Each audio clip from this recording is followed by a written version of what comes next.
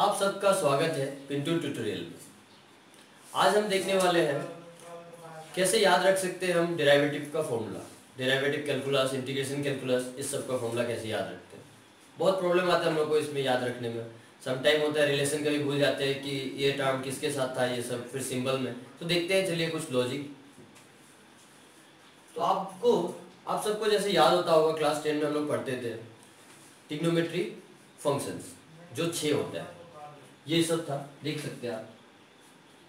Sine x cos x tan x cosec x sec x cot x आपको बस इस चीज़ का ध्यान देना है। देखिए, मैंने लिखा है, ये सीक्वेंस आपको क्लास टेन स्टैंडर्ड सीबीएसई का जो बुक है, उसमें आपको यही स्टैंडर्ड यही सीक्वेंस मिला होगा। ठीक है? तो आपको बस इस सीक्वेंस को ऑलमोस्ट आप लोग में से बहुत सारे को ये सीक्वेंस याद होगा और अगर किसी को याद नहीं है तो इसी सीक्वेंस को आप पकड़ लीजिए। अगर आप इस सीक्वेंस को याद रखते हैं तो आपका बहुत आगे चल के बहुत फ़ायदा है। आप सिंपल डिराइवेटिव का फॉर्मूला इस सीक्वेंस से याद रख सकते हैं, फिर आप कैलकुलस और बहुत सारा फॉर्मूला है। तो देखिए, इसे मैं कैसे लॉजिक में प्रिपेयर करता हूँ। Sine x cos x tan x cosec x sec x x बस। आपको बस इतना ही लिखना है दो बार। Sine x cos x same चीज़। Tan x cosec x sec x cot x ठीक है? जैसे आप देख सकते हैं, मैंने दो बार लिखा है। पहला वाला हमें बताएगा रिलेशन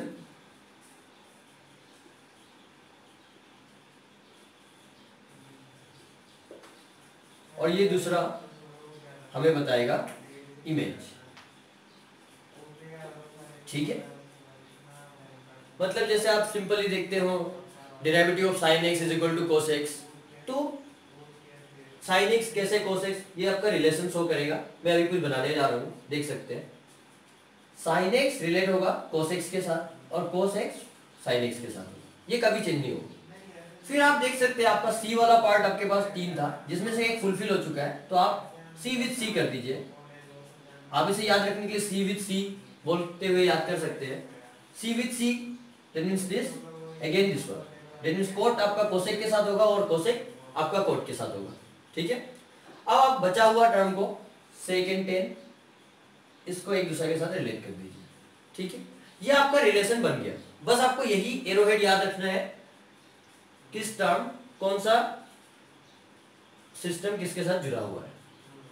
ठीक है? अब देखिए, यहाँ कुछ नहीं करना है आपको। ये इमेज है तो इमेज कैसा फॉर्म होगा? उसके लिए कुछ है। ये क्लॉकवाइज आप रोटेशन मारिए आप। क्लॉकवाइज जाइए मूव कीजिए पूरा फ़ंक्शन पे और क्लॉकवाइज अब जैसे आप इसको देख चुके हैं तो दोनों का कुछ कुछ नाम होगा। इमेज है तो आपका पहला होगा सिंगल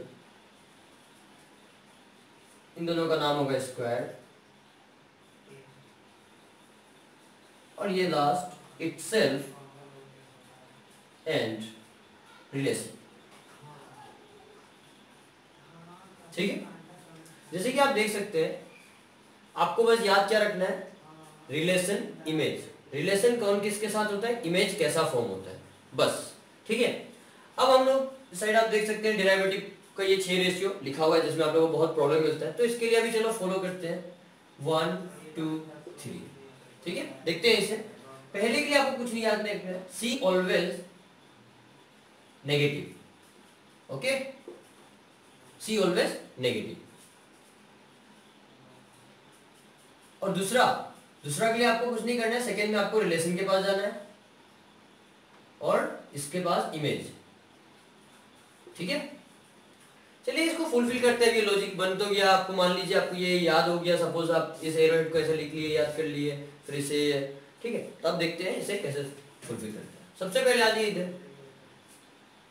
जितना भी आपका रेशियो होगा, आपके पास हमेशा क्वेश्चन होता है। तो क्वेश्चन है मतलब उससे आंसर फाइंड करना है। देखिए अभी कैसे। ये हमें याद है सपोज़ मान लेते हैं। सी ऑलवेज नेगेटिव तो हम कुछ नहीं कर रहे हैं। यहाँ जो भी सी वाला टर्म का क्वेश्चन पूछा जा रहा है, उस पर हम एक नेगेटिव डाल देते हैं। दैट मीन्स सी सी ठीक है?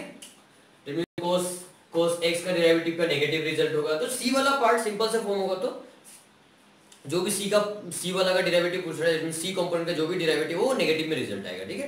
तो उसके कारण आपका सी ऑलवेज नेगेटिव हो गया। क्लियर अब आप देख सकते हैं ये आपका फुलफिल होगा अब हम मूव करते हैं इस पे।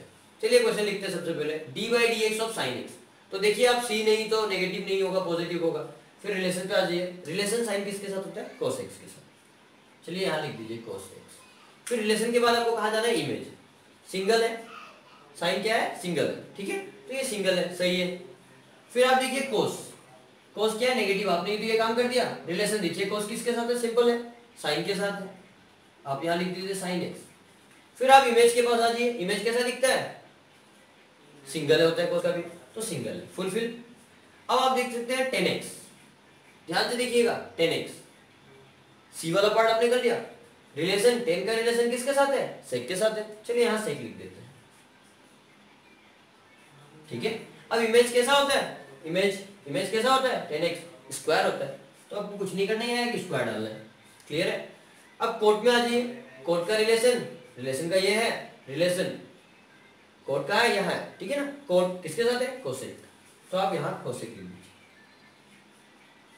एक्स इमेज कैसा होता है कोर्ट इमेज स्क्वायर होता है। यहाँ स्क्वायर लिख देते हैं, ठीक है?